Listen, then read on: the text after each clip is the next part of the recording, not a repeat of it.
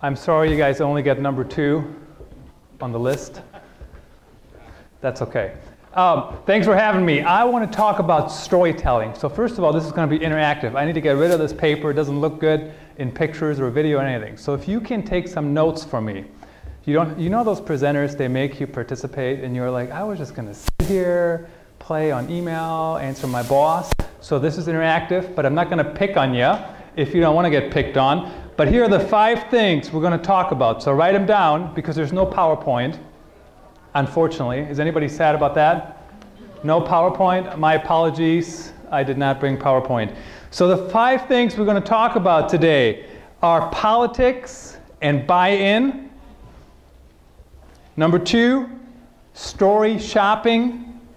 Number three, love. It's all about love. And number four, um, your tone. And then number five, distribution. Everybody got it? One more time. One more time. Politics and buy-in, number one. Number two, story shopping. Number three, love. Four, authentic tone. And then number five, distribution. So let's get the party started. See, I asked them to move the podium, but now I have no place to put anything. Um, so why is storytelling important? Let me give you an example. I used to be a police reporter, uh, covered all these crappy stories. Great stories, but nothing was ever positive. And one of my favorite stories ever was the one where I tried to investigate um, what were your chances to get a traffic ticket dismissed? Make sense? What were your chances to get dismissed? So I looked at thousands and thousands upon pick, uh, traffic citations, and I found that if you fought your ticket, so if you went to the judge and said not guilty, and then you argued over your ticket, your chances were about 50-50 to either get a lesser um, ticket or to get it totally dismissed. So pretty good chances if you think about it. And my favorite one that I found was this woman who was driving down this road and she was going 13 miles over the speed limit. I mean, do we have nothing better to do? Okay, I'm not judging any traffic laws, but 13 miles over the speed limit. And she said, Your Honor, I could not have been speeding because I drive by this little bitty church every day and I say a little prayer. And had I been speeding, I would not have been able to finish the prayer. And I totally finished it because I finish it every day. What do you think? Who believes her? Who does not believe her? This is like a super interesting story. I mean, first of all, it, it actually happened. And then number two, when I tell this story to journalists, they all go, no.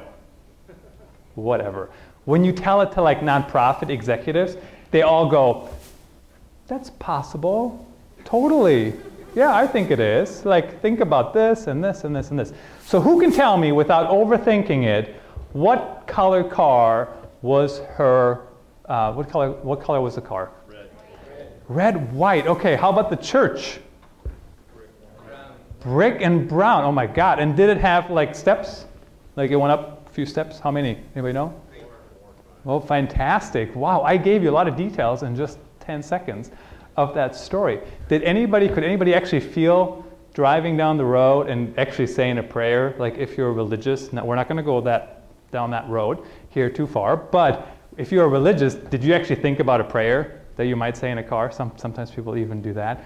So the point is, good stories activate a different part of the brain, right? Because they actually, you feel them. And especially when they're different, when there's some kind of conflict, sometimes when they're unbelievable. Um, and sometimes if it's just something you haven't thought about. So this is why storytelling is important. And storytelling is important um, to share stories that are different. So you can't just run around and say things like, we are the state of the art, multidisciplinary, whatever, right? If I hear those words one more time, they will not set anybody apart anywhere. And healthcare doesn't make any difference those kind of words do not work. So you have to share something that is different. But to get there, there are five things you have to work through. So who can tell me number one? Politics and buy-in. Politics, I think you were first, right? So, you, so if you haven't figured this out, so whoever um, tells me the answer gets a free book. So you can, if you would like it signed, you can get that later. This is my book on authentic storytelling. I only have five. If you want it signed, you do have to bring a pen. I have no pens. I'm digital. So buy-in in politics. You know how many people run around the world and they say, oh, I'm not going to play politics. You, do you have those in your office, in your organization? I'm not going to, I'm going to let my actions speak louder than my words or my politics, right?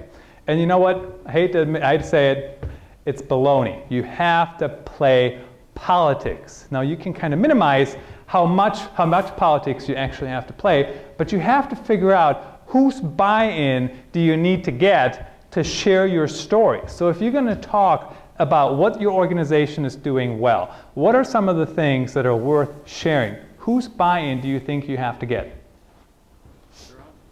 Who? The others, right. The other people um, involved, that's number one. And then who else? The bean, the decision makers. So there's really two ways you can share organizational stories. The first is kind of dangerous. So one is you can just do it, right? You can try to follow all the laws that are in place and you can share stories. And that's very dangerous because guess what? Marketing or PR might have a problem with that and your boss might have a problem with that. And you know what your boss can do to you? Right? They can fire you. Um, so you might want to get their buy-in explicitly that it's okay to share stories and what is okay to share and what are the things that you actually want to share as an organization. Um, and then people involved. So if you're going to share my story, you actually need to have my permission. Right? I mean, not right now because they're recording the thing. I hope you're tweeting, live tweeting every sentence I say to Twitter at ctrappe. I don't remember the hashtag if somebody can tell us what it is. Um, but, you know, I don't have much privacy right now, but most people, you should ask for their permission to use their story. And most people don't have a problem with their story being shared, but the problem is that people don't even recognize stories. So there's a thousand stories around us every day, and trained storytellers actually catch. Any guesses? Guess how many trained storytellers catch out of a thousand around us? Six.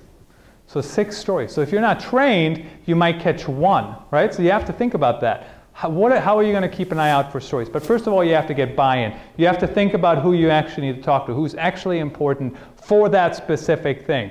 Um, I share a lot of my personal stories. I've, I've shared stories around uh, miscarriages. I've shared stories around all kinds of family things. Nope, I'm not exploiting my family, but I'm sharing stories when they're relevant. Guess who's buy-in I have to get?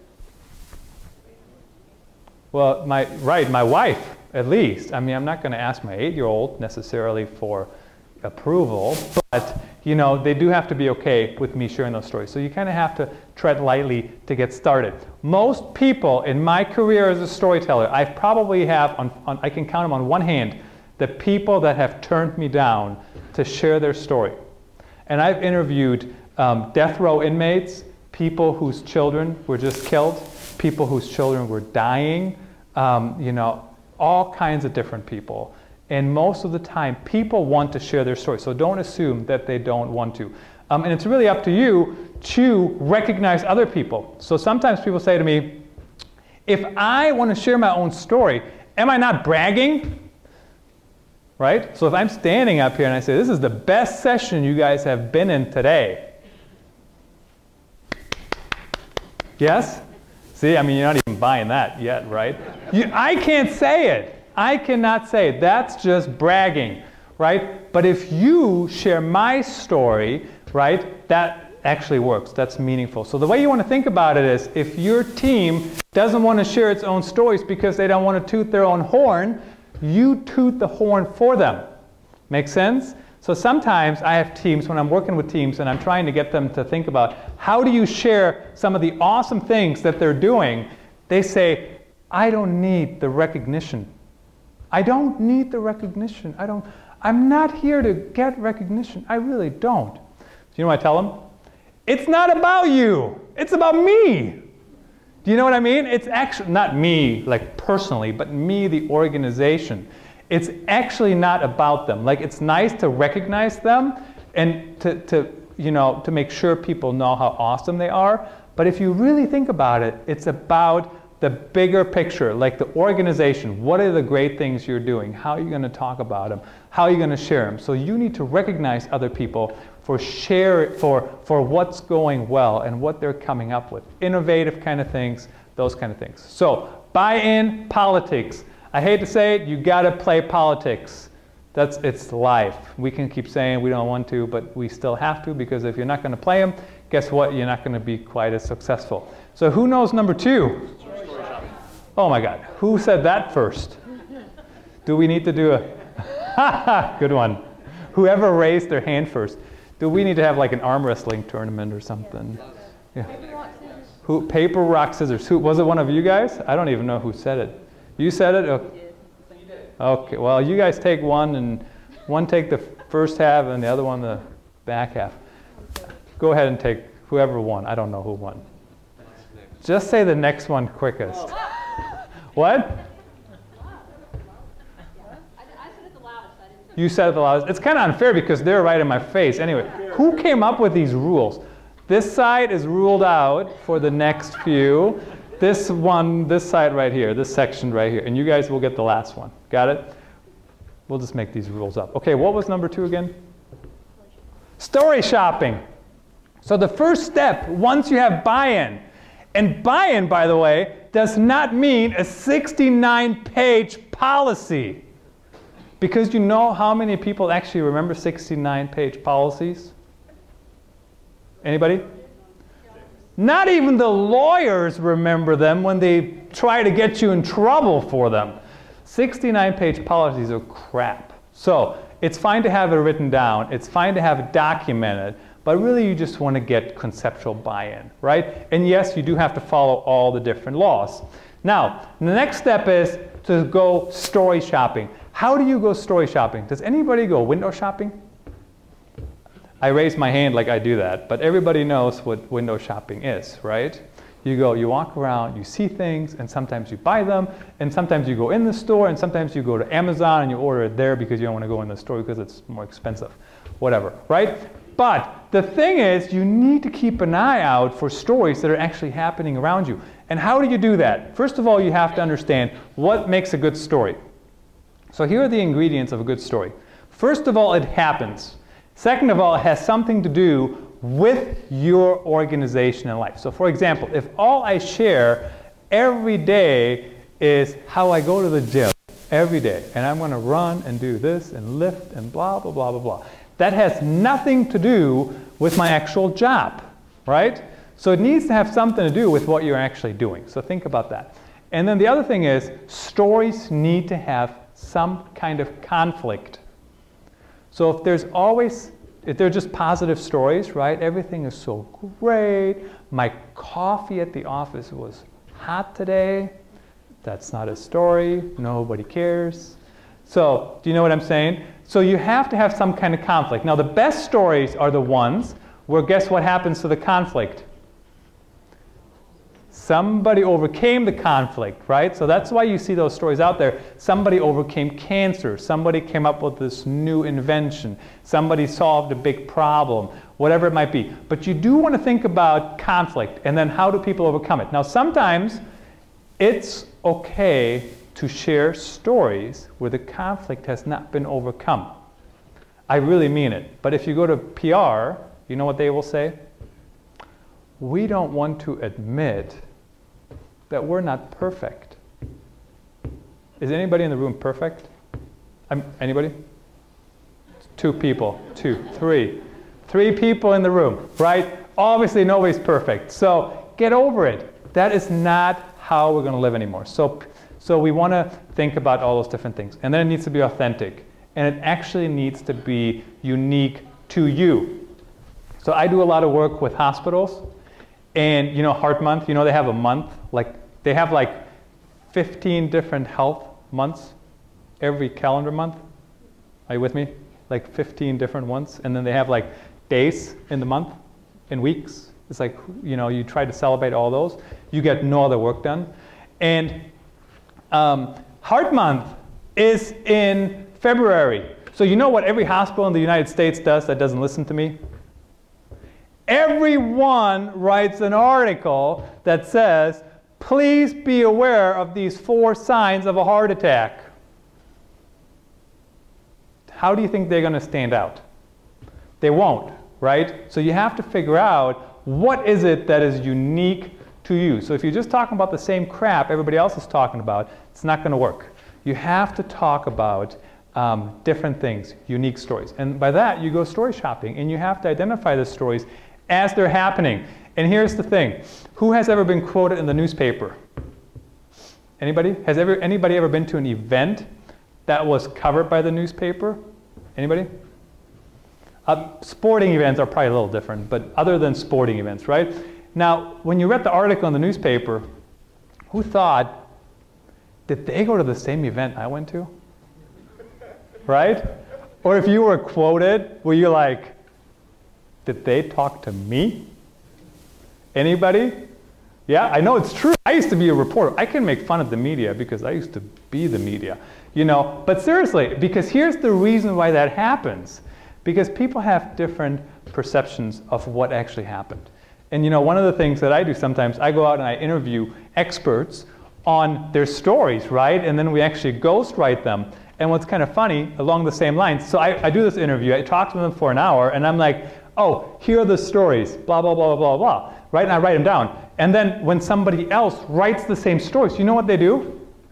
They come up with six totally different stories. And I'm like, I did the interview. What happened? Where did this come from? Who did all this research? How did you have time?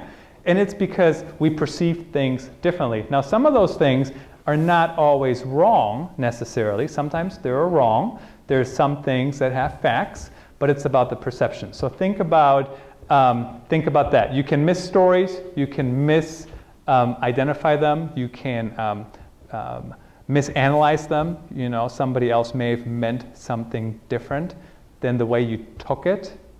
You know, one of my I, I used to play football at the University of Iowa um, long, long time ago, and I remember this case, we were doing sprints.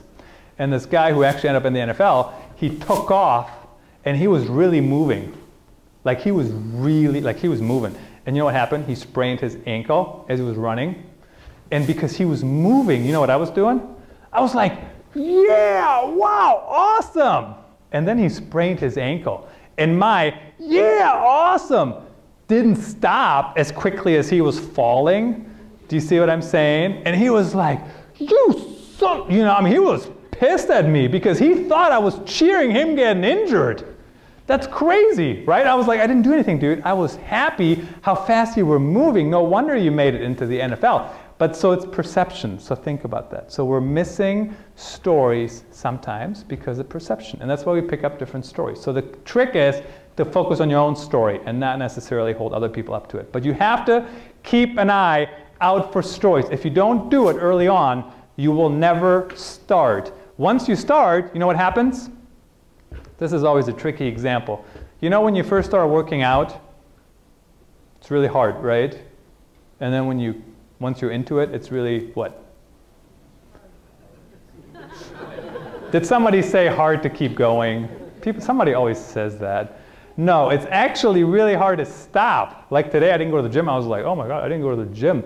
I probably just gained like 10 pounds because I skipped one gym day, you know? But, so it's really hard to stop. So once you get into it, it's really, really hard to stop. But to get going, you have to make an effort. You have to think about what are the stories we can share today? What happened today that I can actually share that people might care about? Now, the people might care about thing, you can overthink it, right? Because you can be, do people really care about that?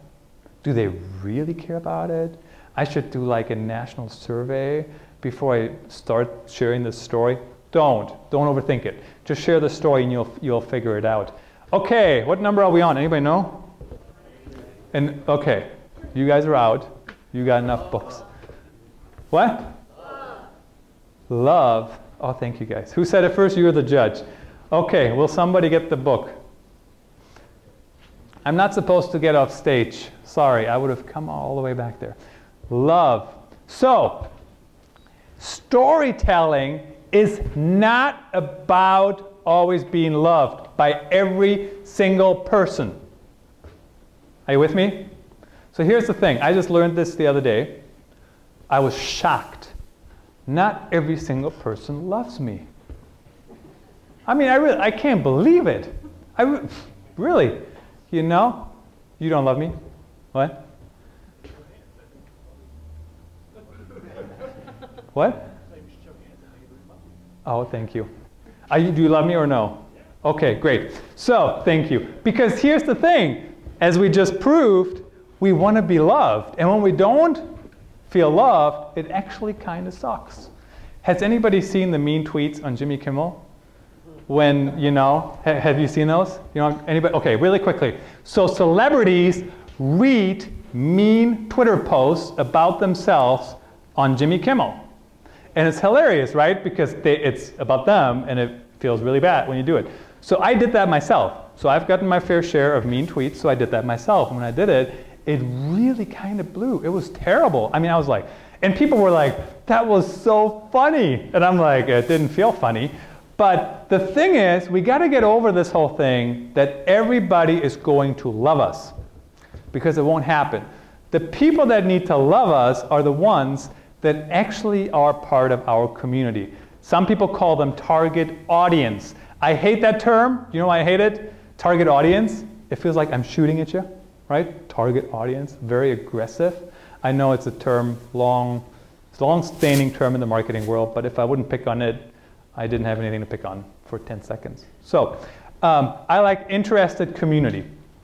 And those are the people you're after. So for example, you know who is not my target audience? The nitpickers. Do you know who I'm talking about? You publish a blog post, you wrote it on the phone, on the plane, and it's like 800 words, and you have like one paragraph in the la- you have like one arrow error in the last paragraph, and they'll send you a lengthy email and say, this entire blog post cannot be correct because there's a typo in the last paragraph this one typo undermines your credibility. I get it, people. Like, I want to have perfectly written blog posts too. But bottom line is, like, if you're going to be that silly over my blog post, I, I don't care. I really don't. So we just got to kind of get over that. And then one time I had somebody who actually emailed me and they said, Your articles, all of your articles, ignore the complexities of life. I will no longer read your articles. Like, thank you. That was my intent. Because we don't have to make, make everything so difficult. You know what I mean? Everything has to have a process. Everything has to go through approval hell to ever get done. It takes months and months and months to get done. Um, just kind of live it and try to get it done. So, um, so that's, that's that. You don't have to be loved by everybody. If everybody loves you, bottom line is, you either are not sharing enough stories or you're not sharing all your relevant stories. You know nonprofits do this. I used to be a United Way VP. It was a great time. It really was. United Ways were really trying to do digital transformations when I was with them. And but you know what nonprofits do? They say we have no opinion on this issue. And I'm like, but aren't you raising money to fight that same issue? Yeah, but we have no opinion on it in the news. Do you see what I mean? It doesn't work that way. You always have an opinion about the things you care about. So, whatever your passion is, whatever your mission is, so if your mission is to help people, you know, to help advance medical innovation, you have to have an opinion about it. Because if you don't, you're just a cog in the wheel. I mean, you think about it. You have to have an opinion about things. And sometimes it needs to be controversial. And it doesn't have to be all the time, but just think about what is your point of view um, and, and how do you talk about it. And once you hit that stride really well, people will actually expect you to say the things that you say. So I'll give you an example. I was in a meeting and they said, you know how people go on social media and they overshare stuff? Do you know what I'm talking about? What do you think a guy like me would say who talks about storytelling like all day long and in his sleep? Honey, did you dream, are you dreaming about storytelling? Wake up. You're being too loud. No, but you know um, what I said? I said, they're just sharing their story. Not a big deal. Give them a break. And honestly, so there are people who overshare stuff. You know, people share like pictures. Like, does anybody know what this is on my skin? Have you seen those pictures? What piece of your skin is that? And then they tell you, and you're like, oh. I didn't even know that piece of your skin looks like that. Anyway, so, but people are just sharing their story. So there's a fine line that you don't care, but guess what? Maybe you're not their target audience. So it's not always about being loved, it's about being loved by the right people, whoever that might be. I've decided, I'm, I'm being a little confrontational about it, quite frankly, because I actually like nitpicky editors. I really do. But you know, that, so I say that because it's kind of gets the point across, right? Nitpickers are not my target audience. Okay, all right, so you guys are out. Is that right? What number are we on? Number four. Who can keep track of this presentation? What? Okay, you said it first. That was smart. You know what he just did?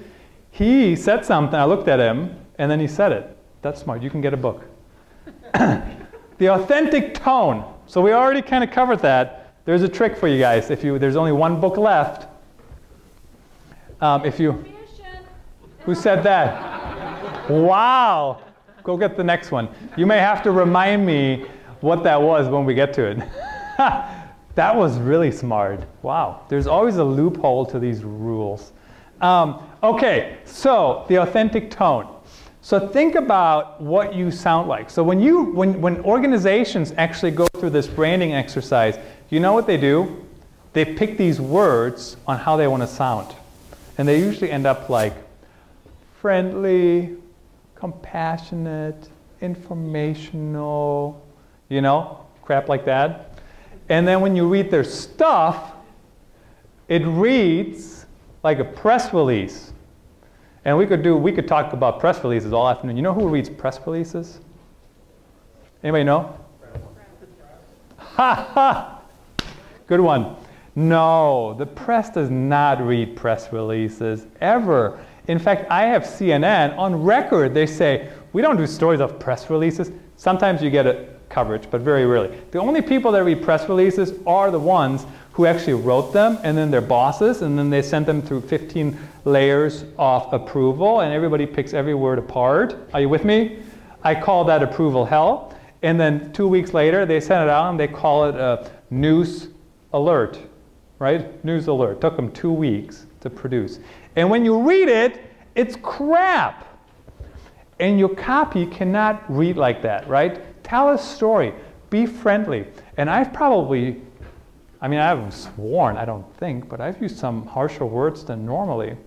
And, you know, you got to pick your tone. And sometimes you can explain it. So if you read online, a lot of people are swearing online. Have you noticed that? They do like, you know, all those acronyms. I can't say them because they're recording this. I don't want to be known for using potentially rude acronyms. So they use all these acronyms, and my tone usually is that I don't use any of that language. So I actually wrote an article, and I wrote an article about how and when never to swear in articles and blog posts. And I said, but I occasionally bold things for emphasis. Get it? Bolded. They swear I bold them. So you can totally kind of make fun of some of those things without being too confrontational. Um, but you want to hit your tone, whatever it is. However you sound, that's how you should sound publicly. It's actually harder than it sounds. Because you know what marketing people do when they try to write for an organization? They sit down and they think this is how it's supposed to sound. And then everything anybody ever writes says, I am so pleased to share this authentic story with you today. Are you with me? They're so pleased. It's marketing gobbledygook. Nobody actually pays any attention to it. You know, so you want to start, you want to talk like humans talk. Bryan Kramer, who's a marketer out of San Diego or California, somewhere on the West Coast. And here's this concept, and it's called there's no more business to business marketing, no more business to consumer marketing. It's all human to human. So my job now is to fly around the country and help humans talk and behave like humans. I mean, who comes up with this crap? Seriously. Like, why are we helping humans talk like humans? Just talk like you normally talk. Be yourself. That's what's going to set you apart. I know it's harder because we're, we're in this transitional phase. I totally get it. You know, people expect us to behave a certain way, um, and it's hard to kind of get started. So, something to think about um, as you're starting, as you're pushing your organization to share better stories. But the more you can hit a human sounding tone and voice, it really, really will help you stand out because it's really still hard.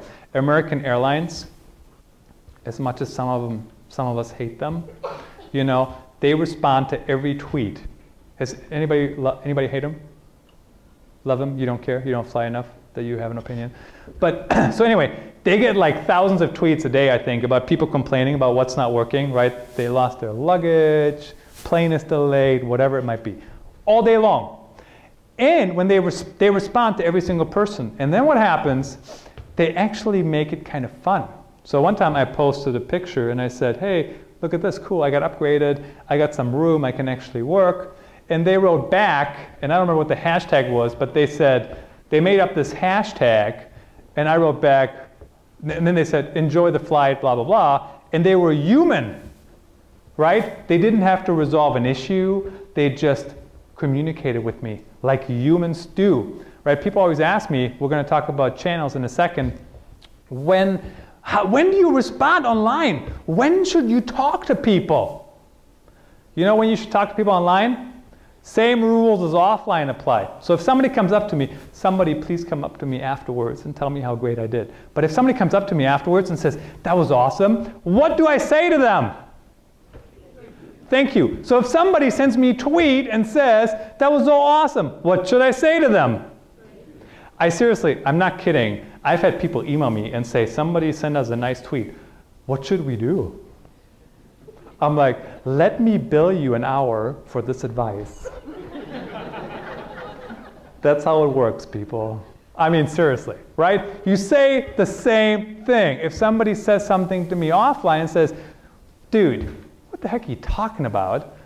I'll say, what do you mean? Let's talk about it, right? Let's go have a beer or whatever. And we'll talk about it, right? Same thing. Now, the difference online, there's a lot of trolls online. So what I do is, and what I recommend people do, I always respond once.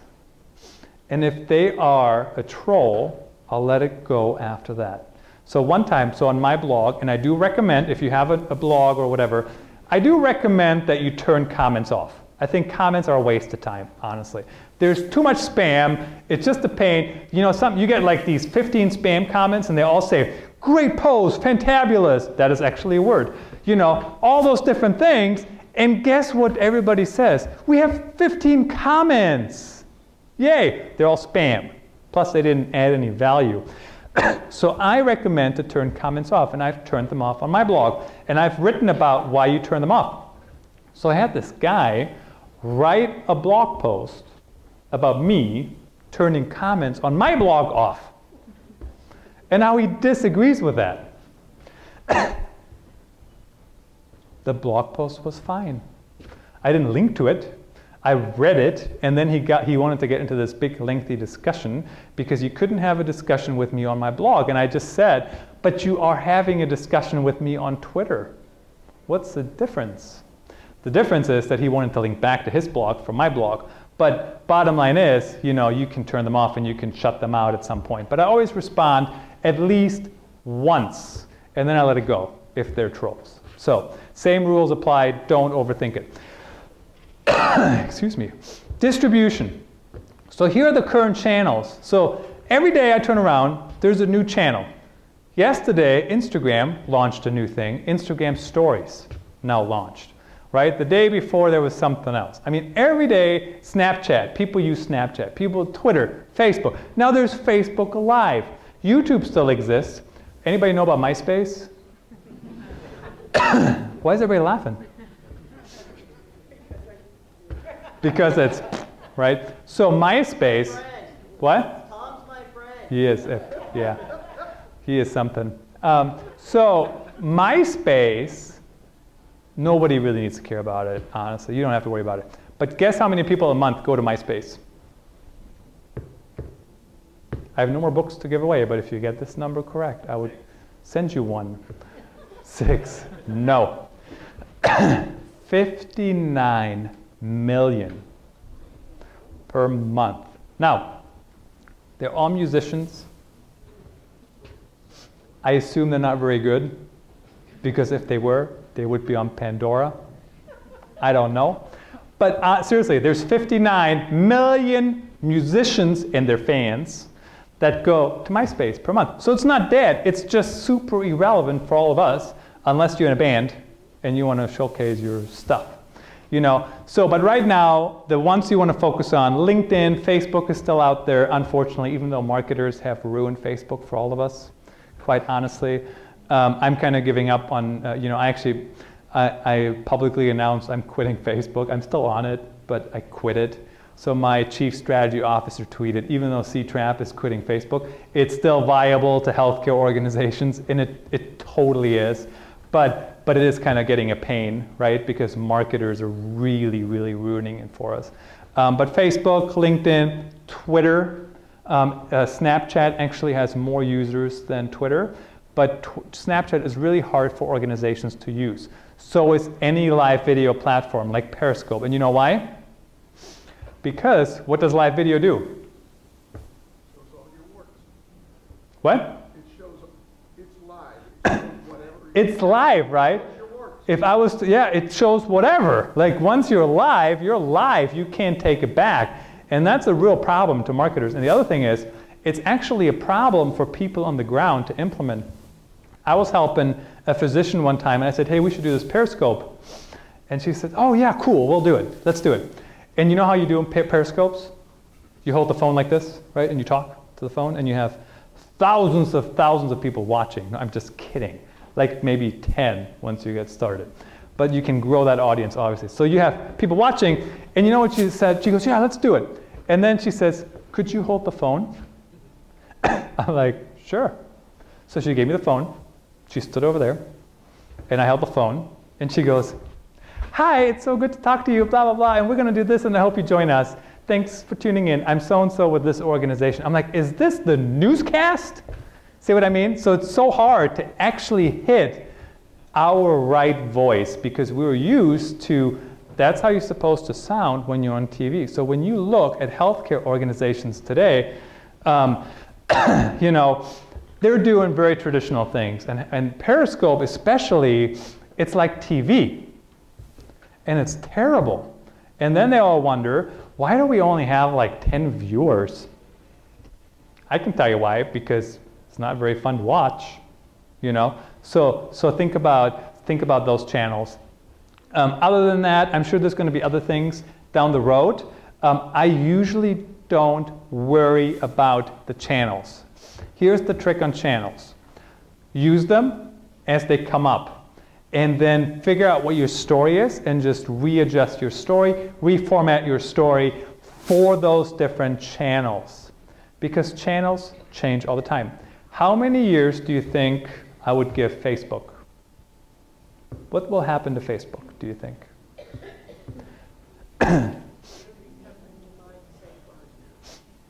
I can't hear anything. What? And it's gone, right? I mean, that's kind of what I'm thinking. You know, it's like everybody goes, but they own everything. And I'm like, who owned everything before Google? Not Google. Excuse me. So things will continue to change.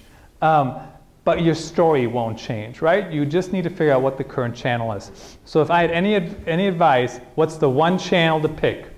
It's your website. This center actually um, has a really nice blog. Have you seen their blog?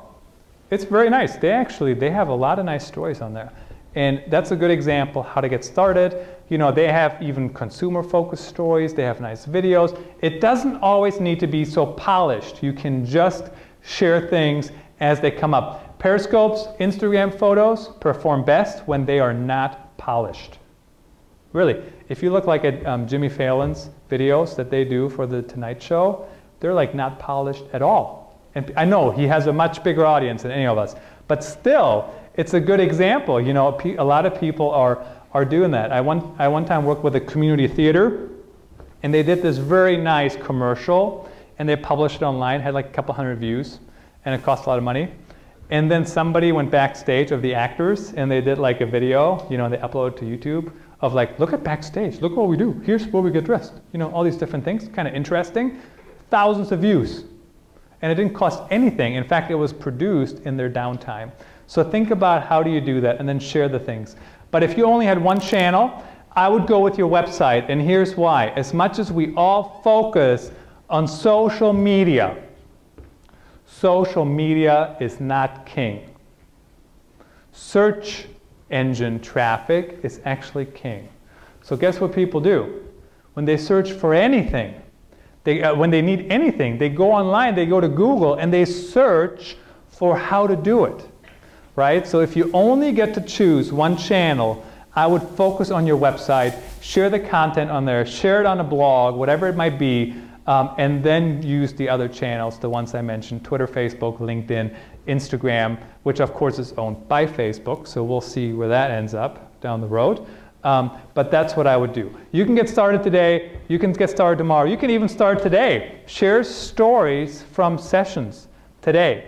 What are some key takeaways? You don't have to overthink them. I was talking to somebody earlier who, you know, they're going to give a report back to their departments, right, on, on what they learned.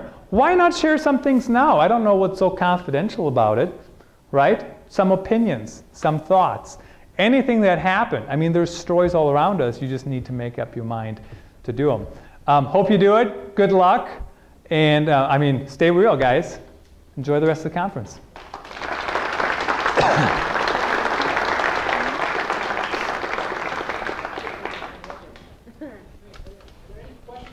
Oh, yeah. no questions. No, I'm kidding. Are there any questions? All right, then. Great. you did such a great job. Hey, thank Thank you you. so much, appreciate it. You bet. Thank you.